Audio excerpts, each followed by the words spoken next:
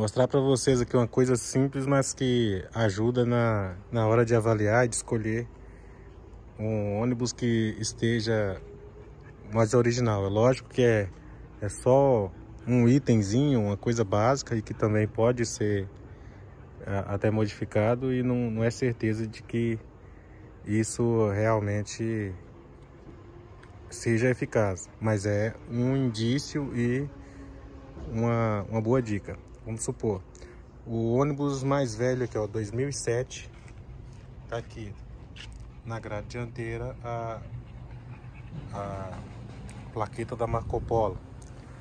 Você vem aqui no pátio e eu costumo dizer que os carros, quando os veículos, quando eles são bons, eles são por inteiro. Eles não são bons em partes. Uma empresa, uma frota, quando ela é bem cuidada, ela é como todo, desde os pneus até o teto. Olha lá, você vê pneus bons, pneus bons, veículo todo original. 2008, então tá aí, ó a estrelinha da Mercedes. Você vem aqui o para-brisa também é original, nunca foi trocado.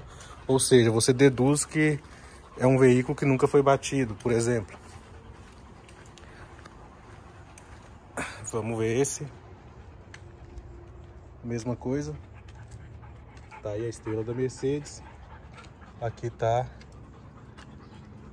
o para-brisa com o número do chassi. Já bem apagadinho, mas tá aí.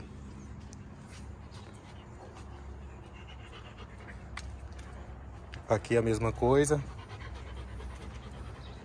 Então você vê que eu, por exemplo, eu sigo muito esses, esses critérios. Aqui também. Para-brisa original. É sempre coincidente. Quando a grade está original, com a, com a estrela, o, o para-brisa também acompanha. Então é isso. Só uma, uma dica aí de técnica para avaliação. Valeu!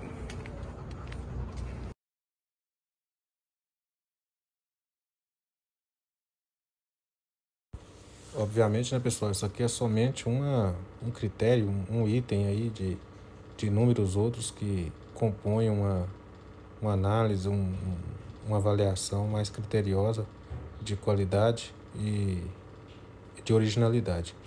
É, se a gente for passar isso aqui, iria meses, né? Mas na medida do possível eu vou soltando essas dicas que são mais básicas, mais simples e que elas é, já, já ajudam para vocês escolherem o usado aí, a compra do seu ônibus usado. Obviamente eu quero que vocês comprem o meu, mas se de tudo isso não acontecer, que pelo menos vocês tenham esses essas diquinhas aí, essas artimanhas para estar tá escolhendo. É, parece que é algo simples, mas uma, o fato desse emblema estar tá ali na frente e já, já reflete assim, é, às vezes não só a originalidade, mas aí você vai ver que a frente está mais alinhada, para-choque está alinhado, borra, encaixe de borracha, tudo isso. Ou mesmo o veículo que tenha passado por uma manutenção, o fato do emblema estar tá ali, da empresa ter, da empresa ter mantido ele ali, é, já caracteriza capricho, porque eventualmente o mesmo que a estrela esteja ali, pode ter sido substituída, colocada ou passado por uma manutenção na frente, um veículo, um veículo que tenha sido batido. Mas o fato da equipe ter, ter mantido aquele emblema já denota capricho. Né? Então, se você vê um veículo que não tem aquele emblema ali, você vai ver que vai faltar outras coisas no veículo. Vai faltar lá no painel de instrumentos, vai faltar em toda a estrutura do veículo, na mecânica e acaba refletindo até mesmo na documentação.